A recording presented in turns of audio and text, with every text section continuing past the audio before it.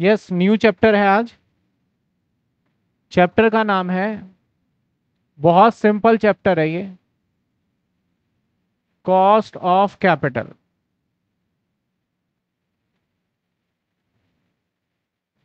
और बुक्स जो है लिंक मैंने डाल दिया है बुक्स आ चुकी है।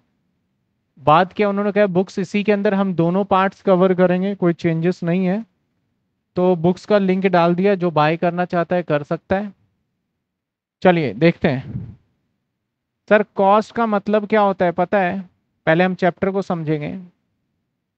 सर कॉस्ट का मतलब होता है खर्चा।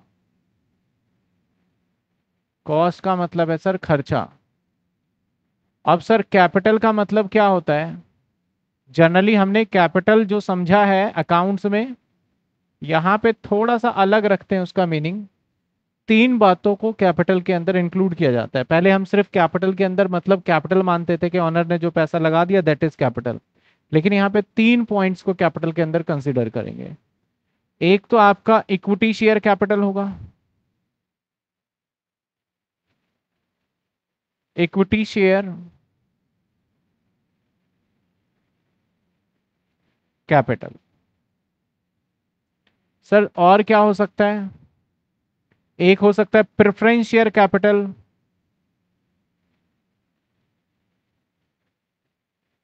preference share capital जो बच्चे न्यू आज की क्लास में होंगे, उनको समझ में आएगा, पूरा कोई टेंशन की बात नहीं है।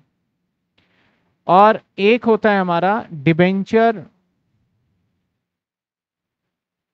ये आपके लिए न्यू है। सर इक्विटी और प्रेफरेंस तो पहले भी पता था कि कैपिटल का ही पार्ट होता है। कॉर्पोरेट अकाउंट में देखा, लेकिन डिबेंचर तो लोन का पार्ट है, लेकिन यहाँ पे डिबेंचर को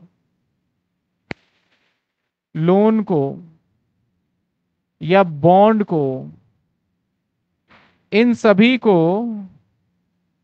हम मानेंगे कैपिटल यानी ये सभी ऐड होगा, तब जाके हमारा क्या बनेगा कैपिटल तो सर कैपिटल का मतलब यहाँ पे क्या है? इक्विटी प्रेफरेंस और प्लस में बॉन्ड यहाँ पे रिज़र्व रिज़र्व का कोई इतना चक्कर नहीं रहता, ठीक है? उसका ध्यान रखिएगा रिज़र्व वगैरह यहाँ पे इतना नहीं रहता तो उसका कोई टेंशन नहीं है।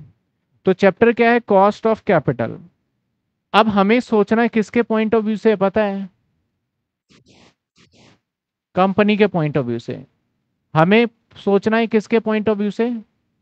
कंपनी के पॉइंट ऑफ़ व्यू से। अब इंटरेस्ट ऑन कैपिटल बताओ क्या होता है? अब कोई बच्चा मुझे बताए, आपने पढ़ा हुआ है तो इंटरेस्ट ऑन कैपिटल बिज़नेस के लिए एक्सपेंस होता है या फिर इनकम होता है?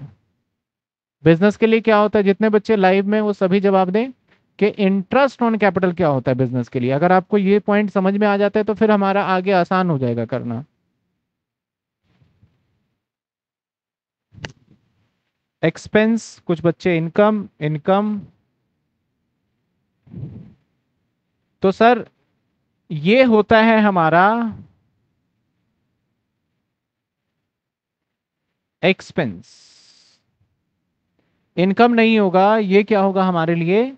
एक एक्सपेंस माना जाता है इंटरेस्ट ऑन कैपिटल अब आप सभी बच्चों को ये बात तो पता ही होगा कि मालिक अलग होता है और बिज़नेस अलग होता है, यानी ऑनर और बिज़नेस अलग होता है। आपने लॉ में भी पढ़ा है, सालोमन वर्सेस सालोमन, के बिज़नेस अलग ऑनर अलग। तो ऐसे सिचुएशन में मान लो ये ऑनर है और मान लो ये बिज़नेस है। ये बिज़नेस है। अब ऑनर जब बिज़नेस में पैसे लगाता है तो बिज़नेस के लिए क्या माना जाता है? कैपिटल तो बिज़नेस इसीलिए, सिर्फ़ इसीलिए इस कैपिटल को वो पता है कहाँ दिखाता है?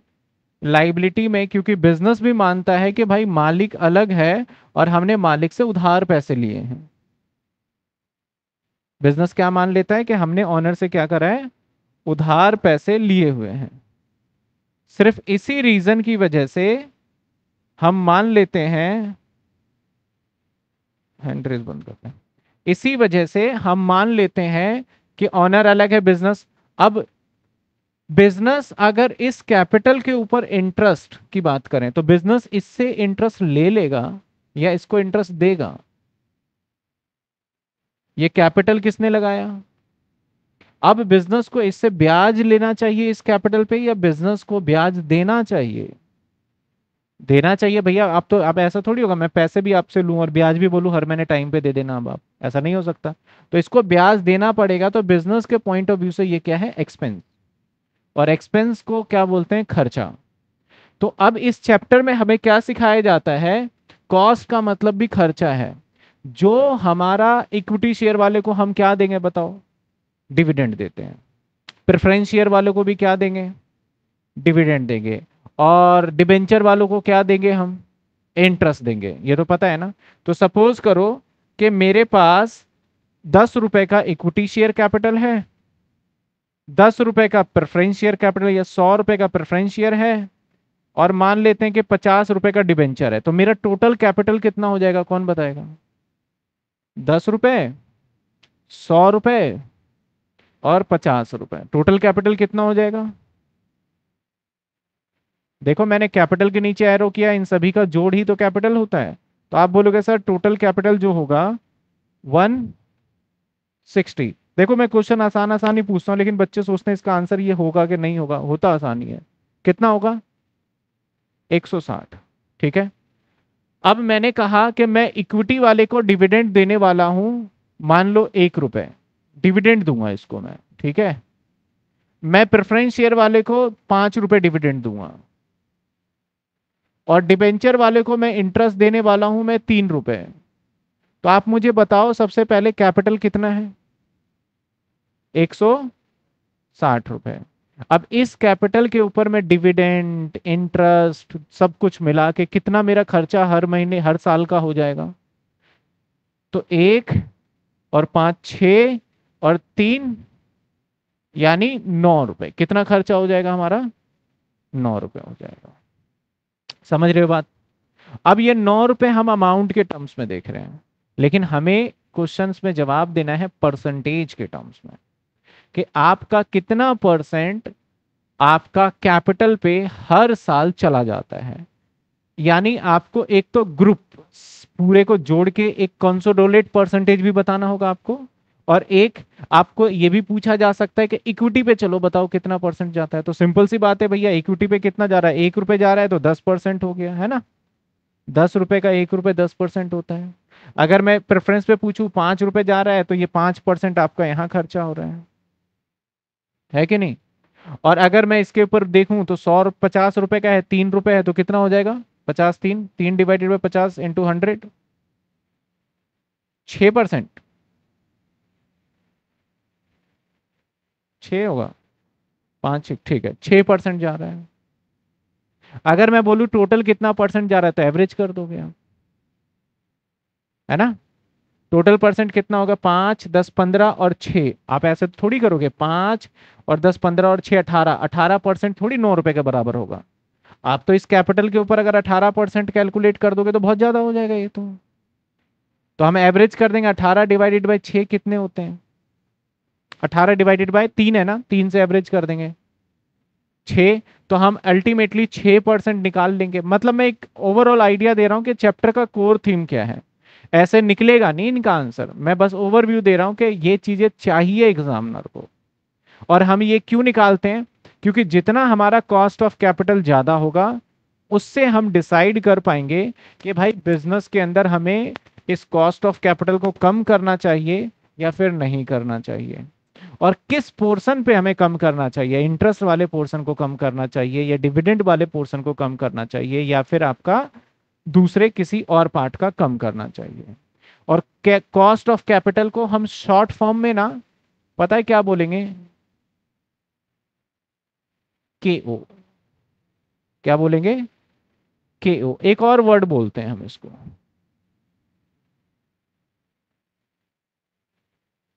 W A C C weighted average cost of capital हम आगे देखेंगे। फ़िलहाल आप याद रखना के ओ होता है कॉस्ट ऑफ़ कैपिटल जैसे साइंस के अंदर पोटेशियम को क्या बोलते हैं? के बोलते हैं ना? आपने नाइन्थ क्लास में पढ़ा हो तो। सेम ऐसे कुछ यहाँ पे वर्ड आएगा, जिसका मतलब आपको समझना होगा। वैसे तो कॉस्ट ऑफ़ कैपिटल बोलोगे तो कॉस्ट में तो सर सी आना चाहिए। सी ओ होना चाहिए कॉस्ट ऑफ़ कैपिटल में। लेकिन इसको डिनोट हम किससे करेंगे? के ओ से करेंगे। ओ स्मॉल और के कैपिटल ऐसा नहीं कि ओ कैपिटल कर दोगे तो फिर मतलब गलत निकल जाएगा। ठीक है? तो सर अच्छा चलिए अभी दिखा देते हैं। अब क्लियर है ना तो हमारा टॉपिक क्या चल रहा है sir cost of capital cost of capital का मतलब हमारा कितना खर्चा होता है, किसके ऊपर सर कैपिटल के ऊपर। और कैपिटल क्या होता है सर तीन चीज़ों को मिला के कैपिटल बनता है। कौन कौन सा? Equity share capital preference share capital और डिबेंचर कह लो, लोन कह लो, बॉन्ड कह लो, इन सभी को जोड़ देंगे तो इन सभी का मतलब होता है कैपिटल, और इसके ऊपर कितना खर्चा हो रहा है, यही हमें एक परसेंटेज के टर्म्स में निकालना है। इस चैप्टर का थीम भी यही है, और लास्ट तक इस चैप्टर में हम यही सीखने वाले हैं। That is cost of capital तो कॉस्ट ऑफ़ कैपिटल में हमें किस किस का कॉस्ट निकालना है? फटाफट बता दो। तीन चीज़ों का कॉस्ट निकालना है। किस किस का? इक्विटी शेयर का कॉस्ट निकालना पड़ेगा। प्रेफरेंस शेयर का कॉस्ट निकालना पड़ेगा और डिबेंचर का। इक्विटी शेयर को हम इक्विटी शेयर को हम डिनोट करेंगे। वैसे मैं आगे लिखूँगा, लेकिन यहाँ बताते जाता हूँ। इक्विटी शेयर को हम बोलते हैं के ई कॉस्ट ऑफ़ इक्विटी ठीक है ना? Cost of equity preference share को हम बोलेंगे K P cost of preference share के का मतलब कॉस्ट है यहाँ पे। और डिबेंचर को क्या बोलेंगे बता दो कोई? के डी शॉर्ट फॉर्म है इनके। तो हमें क्या निकालना है इस चैप्टर के अंदर? के ई, के डी और के पी। तीनों निकालना है। तीनों को कैसे निकालना है, नहीं निकालना है, उन सारी बातों पे हम डिस्कस करने वाले हैं। समझ में आया? चैप्टर का कोर क्या है? तो चलिए एक एक करके हम ना पहले इसको निकालेंगे, लेकिन हम ऐसे चलेंगे। पहले के डी निकालना सीख लेंगे फिर केपी निकालना सीख लेंगे। अगर केडी आ गया तो केपी तो वैसे आ जाना है। फिर लास्ट में हम क्या सीखेंगे? के तो आज की क्लास में देखते हैं हम कहाँ तक पहुँच पाते हैं। जितने आगे जा पाएँगे, उसके हिसाब से हमारा ठीक रहेगा। थ्री फिफ्टी इंटू हंड्रेड क्यों? अरे, ये मैंने एक ऐसा अजम्पन लिया परसेंटेज निकालने के लिए बस। चलिए सर आगे आ जाते हैं। यानी सर मैं स्टार्ट करने वाला हूँ पहला, और पहला क्या स्टार्ट करूँगा मैं? कॉस्ट ऑफ़ डिबेंचर अब डिबेंचर कह लो, या फिर कह लो कॉस्ट ऑफ़ लोन कह लो, या कह लो बॉन्ड सर बॉन्ड और डिबेंचर एक ही होता है, फ़र्क बस सरकारी कंपनी और नॉर्मल होता है. यानी अगर स्टेट बैंक ऑफ़ इंडिया को पैसे की ज़रूरत है और वो आपसे डिबेंचर इशू करके पैसे लेगा तो उसे बॉन्ड कह देगा वो। और मुझे अगर पैसे की ज़रूरत है, आपसे पैसे लूँगा और डिबेंचर दूँगा मैं। तो बस यही फ़र्क है, बाकी बॉन्ड और डिबेंचर में कोई ऐसा फ़र्क नहीं होता। और लोन तो आपका लोन होता है जो बैंक से आप लेते हो नॉर्मली किसी काम के लिए, ठीक है? तो पहला पॉइंट है कॉस्ट ऑफ़ डिबेंचर इसके अंदर हमें दो पॉइंट सीखने हैं। अब डिबेंचर दो तरीके के होते हैं। मैं डिबेंचर के ऊपर ही चलूँगा क्योंकि बॉन्ड और आना आपका लोन बड़ा कम आता है। तो मैं डिबेंचर की बात करूँगा। तो सर, और बॉन्ड, कॉस्ट ऑफ़ बॉन्ड को के बी बोल देंगे और लोन को के एल बोल देंगे। वो तो अंडरस्टैंडेबल है। बाकी फॉर्मूला एक ही रहेगा। सर, दो, क्योंकि डिबेंचर दो प्रकार के होते हैं। एक डिबेंचर ऐसा होता है कि मैंने आपको डिबेंचर इशू किया, आपसे एक लाख रुपए लिया और आपके मुझे पैसे वापस करने कंपलसरी हैं। कब वापस करूँगा? एक टेन्यूर जब कंपनी बोल दे कि पैसे वापस कर दो, या फिर मैं आपके पैसे एक सर्टेन टाइम के बाद वापस कर दूँगा। जैसे कि लॉ कहता है कि ट्वेंटी ईयर के बाद आपको पैसे यू हैव टू रिटर्न करना ही करना पड़ेगा। तो जैसे ही मैंने आपके पैसे रिटर्न किए तो इसका मतलब होता है मैंने डिबेंचर को रिडीम कर लिया। यही सीखा आपने अभी रिसेंटली सीखा ही है। तो जब डिबेंचर दो तरीके के होंगे, एक होगा रिडीमेबल डिबेंचर और एक होगा इरिडीमेबल डिबेंचर तो वैसे लॉ के अंदर अकाउंट्स के अंदर तो ये बोला जाता है कि इरिडीमेबल डिबेंचर अब इशू नहीं हो सकता। लेकिन फाइनेंशियल मैनेजमेंट के अंदर बोला जाता है, ये अभी भी एग्जिस्ट करता है तो इसलिए आप बच्चों को सीखना पड़ेगा ये। तो हमारे दो तरीके के हो सकते हैं। एक होता है हमारा रिडीमेबल और एक हो सकता है इरिडीमेबल तो मैं पहले लिख देता हूँ इरिडीमेबल इरिडीमेबल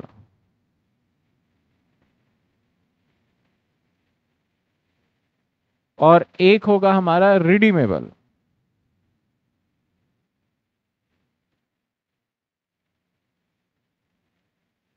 सर रिडीमेबल क्या होगा? रिडीमेबल का मतलब और इरिडीमेबल का मतलब. इरेडीमेबल का मतलब होता है जिसके पैसे हम कभी भी लाइफ में वापस नहीं करेंगे. और रिडीमेबल का मतलब होता है जिसके पैसे हम वापस करेंगे सर्टेन टाइम के बाद. रिटर्न करना पड़ेगा. समझ में आई बात? इसका लिखने की ज़रूरत तो है नहीं, ये तो क्लियर होना चाहिए आपको. सर इरिडीमेबल को, के लिए फॉर्मूला क्या होता है? अगर इरिडीमेबल निकालना हो, यानी आपको अगर के डी निकालना हो, मैं अब डी लिख रहा हूँ यहाँ पे, क्योंकि इसको मैं के डी बोलूँगा।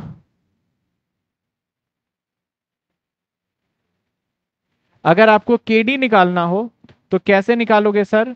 के डी निकालने का फॉर्मूला क्या है? के डी निकालने का फॉर्मूला है आई वन माइनस में T divided by NP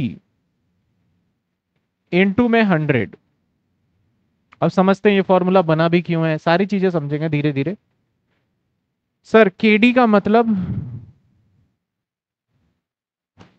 sir KD का मतलब cost of debenture sir I का मतलब इंटरेस्ट। वन है ये, वन का मतलब तो एक ही होता है, और टी का मतलब टैक्स। टी का मतलब क्या है हमारा? टैक्स। अब टी के बाद एनपी का मतलब नेट प्रोसीड। अब आपको केडी में कोई समस्या नहीं, पता भाई केडी क्या है? आपको आई में कोई समस्या नहीं। हाँ इंटरेस्ट रेट होता है ना डिबेंचर पे दस परसेंट, बारह परसेंट, वो रेट हो गया। आपको टी का मतलब कोई समस्या नहीं है टैक्स देता है तीस परसेंट। लेकिन अब एनपी क्या है, ये वो समझते हैं। नेट प्रोसीड्स सर एनपी क्या होता है? नेट प्रोसीड्स मैं एनपी लिख देता हूँ ना यहाँ। कोई है क्या वहाँ? कौन? एनपी, सर, एनपी क्या होता है? नेट प्रोसीड्स नेट प्रोसीड्स का मतलब अब देखो, आपका खर्चा जो होता है, जैसे मान लो, मैंने डिबेंचर आपसे पैसे बोले सौ रुपए का एक डिबेंचर है। आप डिबेंचर लेना चाहते हो, आपने बोला हाँ सर, मैं लूँगा डिबेंचर और हो सकता है कि मैं आपको सौ रुपए के बदले मैं बोलूँ, आपको दस परसेंट का डिस्काउंट दूँगा, अगर आप आज हमारी कंपनी के डिबेंचर खरीद लेते हो। तो सौ के बदले मुझे कितने मिलेंगे? नब्बे दोगे अब आप। क्योंकि सौ रुपए के बदले में कितना दस परसेंट का डिस्काउंट दूँगा तो आप मुझे कितना दोगे? नब्बे। और अगर रेट में बोलूँ कि सर दस परसेंट का हर साल का आपको ब्याज मिलेगा तो अब मेरे लिए जो खर्चा है वो सौ रुपए पे मेरा दस परसेंट ब्याज जाएगा या नब्बे पे जाएगा? बताओ। मैं ब्याज कैलकुलेशन की बात नहीं कर रहा। मैं ब्याज कैलकुलेट तो सौ पे ही करूँगा। लेकिन मैंने कितने रुपए पैसे लिए मार्केट से? नब्बे ही लिया। तो हमें जो परसेंटेज निकालना चाहिए, वो नब्बे के अकॉर्डिंग एक फैक्टर परसेंटेज निकालना चाहिए कि एक्चुअल जो है ना, वो आपको दिख रहा है दस परसेंट है, लेकिन दस परसेंट नहीं है, कहीं वो दस परसेंट से ज़्यादा आपको ब्याज पड़ रहा होगा। आप लॉजिक लगाओ। आपका दस रुपए तो ब्याज जाना ही जाना है। लेकिन अगर आपको मैं डिस्काउंट नहीं देता तो सौ रुपए पे दस परसेंट जा रहा था, तब तो ठीक था, दस परसेंट है। लेकिन अब जा रहा है किसके ऊपर नब्बे रुपए पे दस रुपए जा रहा है आपका। इसका मतलब आपका परसेंटेज आपको दिख ज़रूर रहा है दस परसेंट, लेकिन वो दस परसेंट से कहीं ज़्यादा बैठेगा अगर आप निकालोगे तो। क्योंकि आप क्या करोगे इस केस में? दस डिवाइडेड बाय नाइनटी तो आपका वो eleven point something something something आ जाएगा। तो नेट प्रोसीड्स का मतलब होता है कि हमें डिवेंचर होल्डर से कितना पैसा मिला वो नीचे आपको डिवाइड में रखना है। अब डिबेंचर होल्डर से पैसा एक तो डिस्काउंट माइनस हो जाता है है ना? कई बार ऐसा होता है कि हम ना डिस्काउंट माइनस करने के बाद कई बार हमें बहुत सारे खर्चे भी करने पड़ जाते हैं, जिसको हम बोलते हैं फ्लोटेशन कॉस्ट जैसे हमें एडवर्टीजमेंट देना पड़ेगा। अब मान लो मुझे सपोज़ करो मैं पाँच लाख रुपए कर्जा ले रहा हूँ, उस कर्जा करने के लिए मैंने बीस हज़ार का तो एडवर्टीजमेंट में ही फूक दिया लोगों को बताने में। तो अल्टीमेटली मेरे पॉकेट में पाँच लाख नहीं आए ना, मेरे पॉकेट में कितने आए? चार अस्सी तो मैं ब्याज तो चार अस्सी के हिसाब से अपना फैक्टरिंग करूँगा, क्योंकि फाइनेंशियल मैनेजमेंट बोलता है एक एक रुपए का हिसाब रखा जाएगा और एक्चुअल हिसाब रखा जाएगा, जो दिखता है वो होता नहीं एक्चुअल इसमें। तो हमें पूरी चीज़ें सोच के करना होगा। तो नेट प्रोसीड्स का मतलब होता है कि आपका जो फेस वैल्यू है वो माइनस कर दो क्या इसमें से? डिस्काउंट। और आपका प्लस हो सकता है प्रीमियम। प्लस क्या हो जाएगा? प्रीमियम। जैसे मैंने दस वाला डिबेंचर आपको बारह रुपए में दे दिया। अब मुझे दस रुपए का ब्याज बारह रुपए पे जा रहा है ना? तो प्लस क्या हो जाएगा? प्रीमियम। और इसमें से माइनस हो जाएगा हमारा फ्लोटेशन कॉस्ट। जगह नहीं है, इसलिए ऐसे लिख रहा हूँ फ्लोटेशन कॉस्ट सर जो फ्लोटेशन कॉस्ट होता है,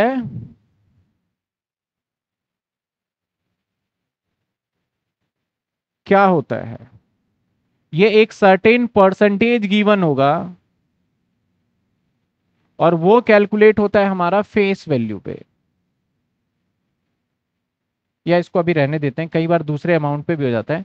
यानी एक परसेंटेज होगा, जैसे मैंने बोला कि भैया मैंने सौ रुपए आपको दे रहा हूँ, जिसमें एक परसेंट तो मेरे को एडवर्टीजमेंट में ही लग जाना है और दस परसेंट मैं आपको डिस्काउंट भी दूँगा। तो अल्टीमेटली मेरे पॉकेट में नेट प्रोसीड्स प्रोसीड्स का मतलब आना, मुझे कितने मिलेंगे? सौ रुपए था, दस का तो डिस्काउंट ही लग गया भाई। और एक परसेंट तो हमारे पास एटी नाइन रुपीज़ आएगा तो नेट प्रोसीड्स कितना माना जाएगा? एटी नाइन रुपीज़ माना जाएगा। अगर मैंने कहा कि सौ रुपए का मेरा एक डिबेंचर है और तीन परसेंट बैंकर को मुझे एक तरीके से ब्रोकरेज देना पड़ रहा है बैंक से लोन लेने गया बैंकर को मुझे तीन परसेंट का कमीशन देना पड़ रहा है तो अल्टीमेटली सौ रुपए में से आपको अगर तीन परसेंट का कमीशन देना पड़ रहा है तो आपके पास कितना है? Ninety seven. तो आपको डिवाइड में कितना रखना है यहाँ पे? नाइन्टी सेवन तो सबसे पहले ये देखो नेट प्रोसीड्स का फंडा क्लियर हुआ कि नेट प्रोसीड्स होगा क्या? बताइए पहले। नेट नेट प्रोसीड्स का आपको फंडा क्लियर हुआ। 97 89 बिल्कुल सही सही सही। आपको नेट प्रोसीड्स का कॉन्सेप्ट क्लियर हुआ सर नेट प्रोसीड्स है क्या एक्चुअल में? बताइए। क्लियर है नेट प्रोसीड्स अब आगे चलते हैं। आगे हम फॉर्मूले को ऐसा नहीं कि ये फॉर्मूला बना है तो बस लगा दो। अब वन माइनस टी क्यों होता है? हंड्रेड तो आप सभी को पता है कि परसेंटेज को डिफाइन करने के लिए हम हंड्रेड मल्टीप्लाई में करते हैं। लेकिन ये है one interest one minus T इसका मतलब सर अगर मेरा दस रुपए का ब्याज हो और टैक्स मेरा अगर मान लेते हैं चालीस परसेंट हो तो मैं यहाँ पे करूँगा वन माइनस में चालीस परसेंट का मतलब ज़ीरो पॉइंट फोर हो जाता है। शॉर्ट में लिख दिया थोड़ा। तो अल्टीमेटली इसको सॉल्व करो तो इसका मतलब आपका आ जाएगा ये छ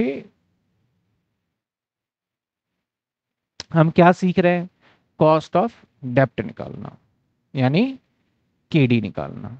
लेकिन सर, अगर आप ऊपर में छ रखोगे तो आपका छह रुपए के हिसाब से परसेंटेज आएगा।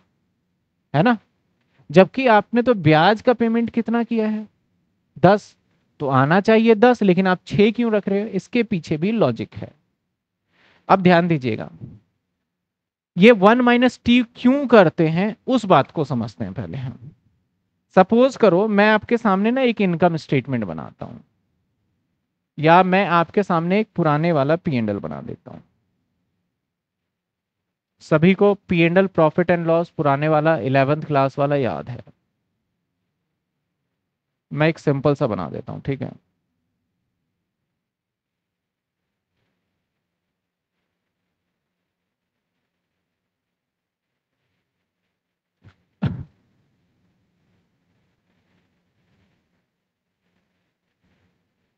चलो साहब। इधर लिखते थे हम बाय सेल्स है ना? याद होगा ट्रेडिंग प्रॉफिट मान लेते हैं पचास हज़ार।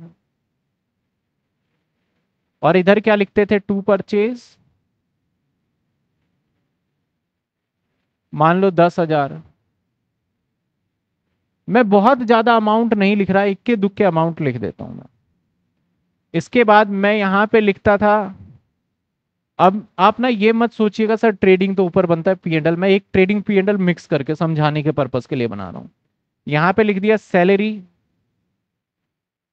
मान लेते हैं एक हज़ार। यहाँ पे लिख दिया बेड डेट्स कितने रुपए बेड डेट्स मान लो 500 यहाँ पे लिख दिया इंटरेस्ट क्या इंटरेस्ट प्रॉफिट एंड लॉस में आता है? जी हाँ, आता है। मान लो पंद्रह पंद्रह सौ रुपए। अब मैं आपसे जानना चाहता हूँ कि नेट प्रॉफिट कितना आएगा। तो सिंपल सी बात है सर, ये भी कोई मुश्किल थोड़ी ना है। ये तो फटाफट बता देंगे हम। तो माइनस कर देंगे दो, तीन और तेरह हज़ार तो कितने बचेंगे? Thirty thirty seven. ठीक है, कितने बचेंगे? थर्टी सेवन, समझ रहे हो आप? Thirty seven. अब आपका टैक्स का रेट जो है ना, सरकार ने तय कर दिया गवर्नमेंट ने तय कर दिया कि आपको इनकम टैक्स जो देना है सपोज़ करो आपको फिफ्टी परसेंट देना है। कितने परसेंट टैक्स देना है?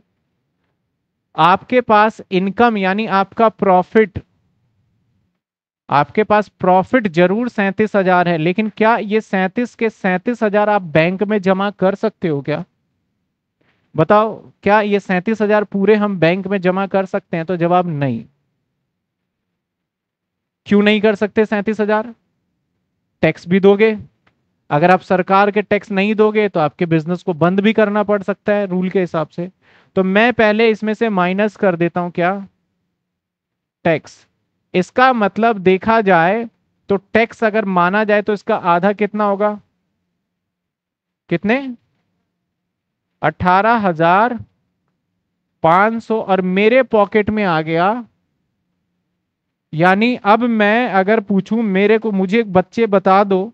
मुझे आप बता दो कि मैं, मेरा कितने रुपए पे यहाँ हक है? तो आप बोलेगा, सर, आपका जो हक है ना, वो आपका हक किस पे है? सिर्फ़ अठारह हज़ार पाँच सौ पे है। समझ में आई बात आपको? आपका राइट कितने पे है? अठारह हज़ार पाँच सौ पे। अब मान लो, अगर मेरे पास इंटरेस्ट नहीं होता, मान लो अगर मेरे पास इंटरेस्ट नहीं होता इंटरेस्ट का खर्चा ही नहीं होता। तो मुझे बताओ, मेरे पास फिर कितने रुपए होते? कौन बताएगा?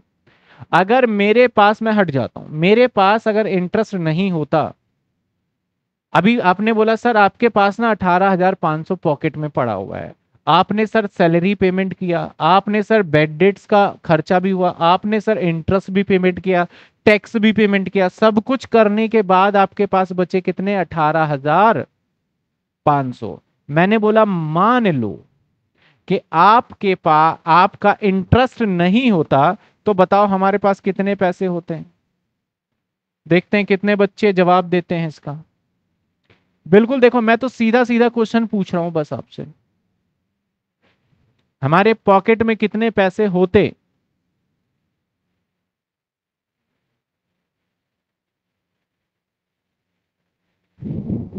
ऑप्शन नंबर वन बच्चे तो कह रहे हैं पैंतीस हज़ार पाँच सौ होते हैं। अरे भाई टैक्स भी देना है ना। एक उन्नीस दो सौ पचास, एक सत्रह दो सौ पचास।